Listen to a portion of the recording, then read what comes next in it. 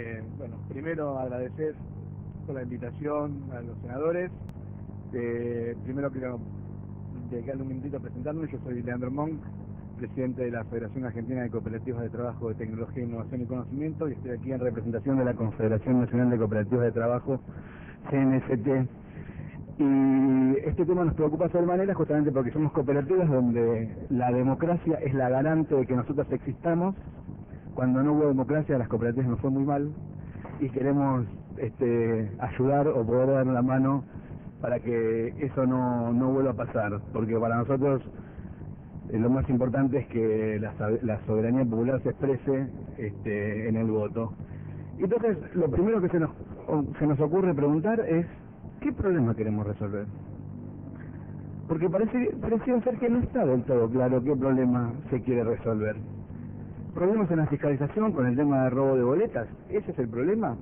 Si es el problema, se, la solución con otros problemas, porque todo, bueno, hace poco hablando con un arquitecto me dijo, todo tiene contras, ¿no? Cuando vos elegís algo para hacer una casa, vos siempre elegís un problema nuevo. Uno, si elegimos, por ejemplo, la boleta única de papel, tiene un problema, que es que en una boleta única de papel no entran la cantidad de candidatos este eh, en, una en una categoría grande como por ejemplo puede ser diputado de provincia de Buenos Aires. No hay hay que hacer una una papeleta de un metro de ancho para que entren todos los candidatos. Y ese es un problema porque a mí por lo menos me gusta leer y creo que es este un derecho conocer a quién uno está votando. Y la vuelta única de papel solo uno conoce los cuatro cinco X primeros candidatos de una lista pero lo interesante de la lista que hoy tenemos es que yo antes de, estando aún en el cuarto oscuro, puedo leer todos los candidatos y decir, ah, no, en el noveno lugar hay un candidato que no me gusta, a esta lista no la voy a votar. La, la boleta única de papel no tiene, la boleta única de papel impresa por una impresora o impresa por, este, de manera preimpresa, digamos, tiene ese problema. Y si la elegimos, como la eligieron en los distritos como Santa Fe y Córdoba, tenemos que saber que, que estamos eligiendo por ese problema.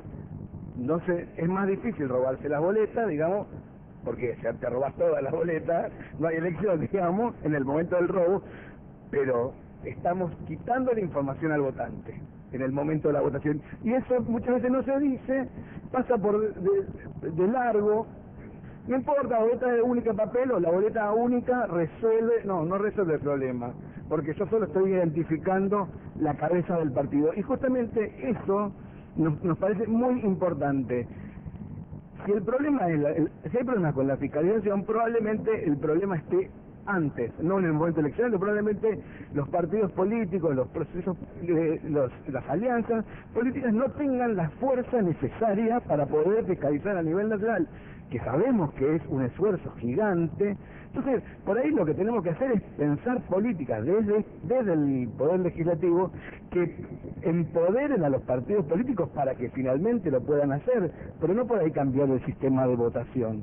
Entonces, por ahí eh, como no sabemos bien qué problema es el que, el que queremos resolver, el, Poder Ejecutivo plantea esto y todos tratamos de ver pero no sabemos, bueno, se dice, se dice eso. Bueno, pareciera ser que en realidad lo que tendríamos que trabajar es políticas públicas para empoderar a los partidos políticos para que pudiesen fiscalizar la tarea. Este, no es una tarea fácil, no sabemos siquiera cómo se hace, pero por ahí deberíamos plantear el problema que tenemos y no eh, un parche. El otro problema que se dice, que sabemos que es un problema menor, es el tema de la rapidez. Yo me por lo menos me permito dudar de que en las condiciones de infraestructura que tiene hoy la, el país, eso sea una realidad. Este, eh, se, se hizo la elección con boleta única electrónica o con voto electrónico en la ciudad de Buenos Aires, el distrito con mejor conectividad, con mayor cantidad de recursos, PBI per cápita en, en cualquier en cualquiera de los ítems si no logramos mayor rapidez en el recuento, si no tenemos tiempos similares al recuento manual, de hecho lo que se plantea en el proyecto de ley es que también hay que hacer el recuento manual, si hay que hacer el recuento manual, ¿para qué vamos a tener máquinas de voto electrónico? Pareciera ser incongruente. Si vamos, o sea, vamos a tardar más, porque vamos a tener que primero contarla manualmente y después contarla con la máquina. Por ende, el recuento va a ser más lento. Entonces, hay, hay como... Entonces, como no sabemos qué problema... Hoy, en el 2016, se calcula que el 70% de Argentina está conectada y el otro 30% no vota. Y ese es un problema serio que tenemos. Que hoy el, eso es suplido por que el correo argentino sí llega a gran parte de este, la, la Argentina, pero no las telco que nos brinden conectividad. Entonces pareciera ser que la transmisión electrónica de datos no es una realidad tan posible, por lo menos en el corto plazo. Ojalá, como dijo mi predecesor, mejoremos la conectividad, no porque los chicos puedan acceder al conocimiento este, en sus lugares, no tengan que desarrollar, sino por eso, ¿no? Pero bueno. La otra cosa que dice es que eh, el mundo va para ahí, ¿no? lo novedoso es el voto electrónico. Hace 40 años que se están votando electrónicamente, no es una novedad. Hay En algunos países van para adelante, otros van para atrás, otros van para adelante y para atrás, pero no parece ser el que implementar el voto electrónico es estar en lo último de la tecnología de nada. Entonces, eso, eso no, no es un, y obviamente no es un valor en sí mismo, porque este, hace poquito alguien me comentaba que en lugares se vota de la misma manera hace cientos de años y no modifican porque le funciona. Si funciona, este, a mí me dijeron que no hay que tocarlo, ¿no? Este, y por último, y esto ya lo hablo más en mi carácter un poco más de cooperativista, participar en una empresa democrática, es el tema costos. Todo, bueno, igual otra cosa antes, que es quién es el usuario del sistema electoral. Si el usuario del sistema electoral son los electores o son los partidos políticos. Porque bueno, otro de los otra de las ventajas, la, la única ventaja, trato de poner sobre la mesa, de la boleta única en papel o electrónica es que simplifica la logística de boleta a los partidos políticos. Y esperemos que legislemos para la gente y no para los partidos políticos, pero para los partidos políticos tengamos otro tipo de, este, por ejemplo, que el Estado garantice la logística de boleta. Podría ser tranquilamente una solución. Y por último son los costos. Si a mí, en la cooperativa donde yo trabajo, les propongo gastar uno o dos órdenes de magnitud para hacer lo mismo, con mayor cantidad de riesgo, me echan las patadas en el traste. Entonces, seamos, eh, cuidemos el erario público, es otro problema.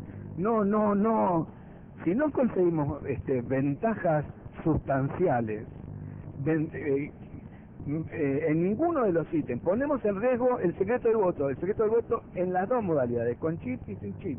Porque como bien dijeron mis antecesores, una impresora es una computadora, con que solo me diga a quién y en qué orden ya es suficiente para poder saber a quién votó cada uno, ¿no?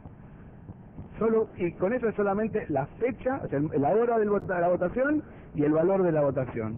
Digo, es información es muy poquita, se puede almacenar en cualquier dispositivo de memoria electrónica. Entonces, ponemos en riesgo el secreto del voto. No podemos garantizar resolver los problemas que tenemos, creamos nuevos problemas, este, y eso hace que gastemos más. Pareciera toda una gran incongruencia que del movimiento cooperativo tratamos de, por lo menos alertar para que para que no se perpetre. Muchísimas gracias. Gracias a usted.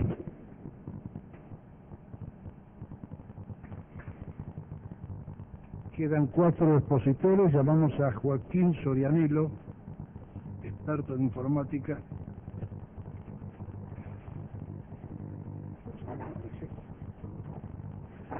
Hola, bueno, gracias a todos los que se quedaron. Eh, me gustaría que haya más senadores, más de nuestros representantes, pero bueno, hacemos lo que podemos. Eh, quizás muchos de ustedes ya me conozcan, yo me dedico a desarrollar software, hace 10 años que estoy haciendo sistemas de control, software de uso general. Eh, y sabrán que en el año 2015 tuve una relación muy cercana con la empresa Magic Software Argentina y las elecciones en la ciudad de Buenos Aires, porque 10 días antes de las elecciones encontré un problema de seguridad bastante grave y le informé a la empresa. Eh, dos días antes de las elecciones eh, vino la Policía Metropolitana a mi casa, me llamaron a mi casa, un proceso judicial que duró 13 meses, del que por suerte fui sobreseído, la justicia dijo que yo no cometí ningún delito y que, y que hice una tarea noble al avisarle a la empresa. 14 meses desde que allanó mi casa, después recuperé mis equipos, equipos con los que yo trabajaba para empresas de Argentina y del exterior.